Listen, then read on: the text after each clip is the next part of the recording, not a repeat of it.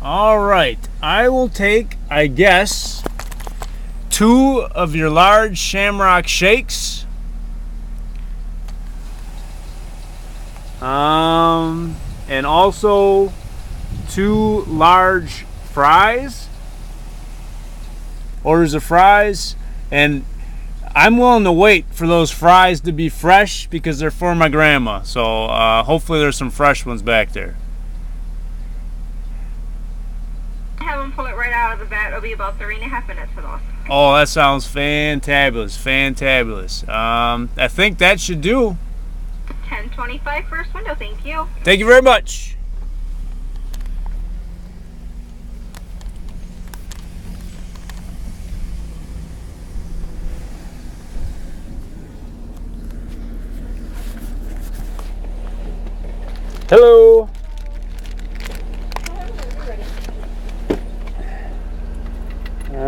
Uh, 1025 you say? Yep. There's 10. Okay. And there's 25. All right. And do I need to stay here or pull up yonder? Go right on forward. Okay, Um, thank you. Stop at the first, second window, and then they'll tell you what more. Okay. I want some fresh fries for Grandmama. I don't know if it's illegal to videotape a transaction at a drive-through or not, but uh, we'll see. And yes, indeed, those Shamrock Shakes have whipped cream and a cherry on top. Mmm. I might have to talk to the manager about this. I might have to talk to the manager about this.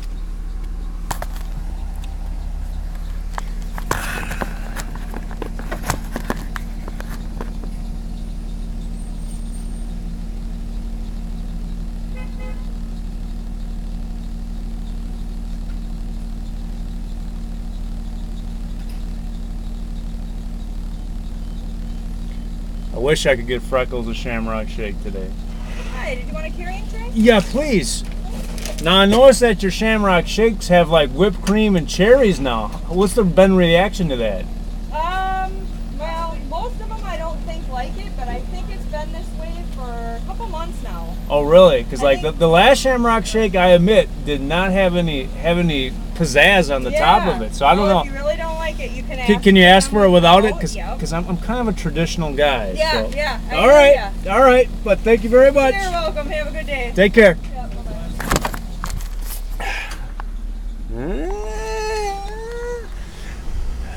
They say change is at the core of the human experience.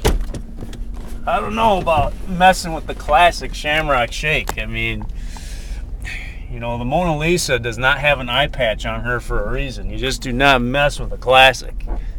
So we'll see. We'll see how uh, Grandma likes her grasshopper flavored shake. She loves grasshoppers, but uh, there's no booze in the McDonald's shake, so we'll have to see how she how she enjoys the Shamrock Shake. So I'm gonna get these fries and these shakes home to Grandma.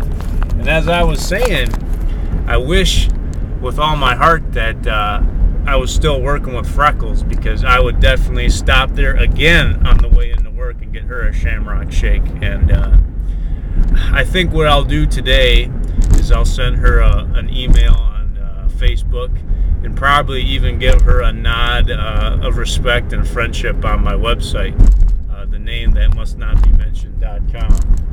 So that'll be nice because every time I drink a Shamrock Shake for the rest of my life, I'm going to think of my good friend Freckles.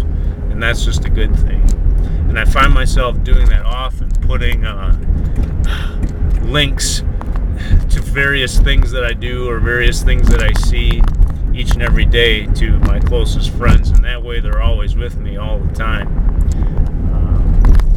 Uh, French fries, I would have to say probably SSG man. I would say if I had to talk about French fries, he the, the man loves French fries like uh, fish love water. So, but uh, a little bit of urban legends that go with McDonald's. You know that one urban legend about the lady that spilled hot coffee on her lap and uh, got like millions of dollars. I need to look up the specifics of that urban legend. I've heard I've heard a lot about it over the years, but I do not know the truth, know the facts behind that urban legend, and I think I need to uh, know those facts because I could have spilt a Shamrock Shake on my bare leg here, you know, and gotten frostbite and possibly, you know, made a million dollars by spilling a Shamrock Shake on my leg, or not. But uh, all right, we're gonna try and get home one piece. Get grandma her French fries. Get grandma her shake. It's kind of like an ongoing uh, birthday celebration. So this might be the only time that I visit McDonald's this entire year, and uh, the only reason I really have to visit McDonald's is the Shamrock Shake. But the cherry and whipped cream, eh, I don't think I'm gonna be a big fan. I'm not gonna be a big fan at all.